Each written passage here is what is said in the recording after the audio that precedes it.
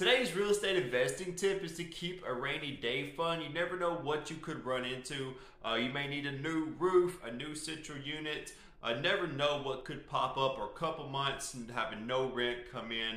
Um, so keep a rainy day fund that provides a great security for your investments. My name's Nathan. Reach out anytime.